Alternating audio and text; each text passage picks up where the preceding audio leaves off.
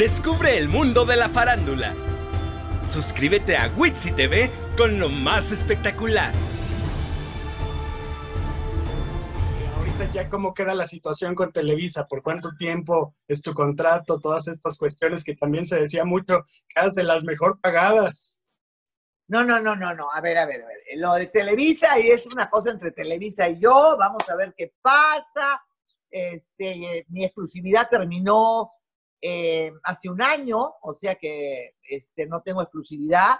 Yo puedo hacer este programa, puedo hacer otros programas. Tengo una propuesta para hacer cosas en Colombia, por ejemplo. Este, vamos a ver, ¿no? O también para hacer otros programas eh, para Televisa también. Vamos a ver qué pasa. Yo, Televisa es mi casa, es mi familia. Yo no hablo de contrato con Televisa, yo hablo de que, de que me amo estar ahí, que adoro, adoro ser parte de algo que me han tratado siempre como una reina y que la verdad que para mí Televisa, pues, es el Hollywood latino. Acuérdate que yo vengo de Perú, si bien soy mexicana, vengo de Perú y en Latinoamérica estar en Televisa es estar en Hollywood.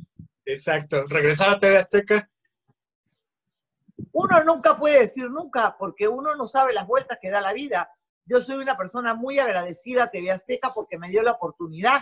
Quien me abrió las puertas en México, si bien fue también Televisa, Canal 9 con los repetidos, pero cuando yo llegué acá fue Azteca América, luego Azteca 13, que es Azteca 1. O sea que yo siempre estoy muy agradecida con los señores Salinas por haberme dado esa oportunidad, ¿no? La verdad, muy agradecida.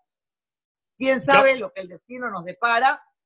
Televisa es mi casa, es mi familia y Dios es el... Yo por eso nunca digo nunca, ¿sabes? Porque por decir nunca antes es que estuve arruinada. O sea que calladita, más bonita. Eso, Laura. Pues yo muy agradecido de esta charla.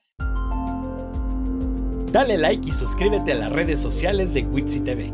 Encuéntranos a través de YouTube, Facebook, Instagram y Twitter.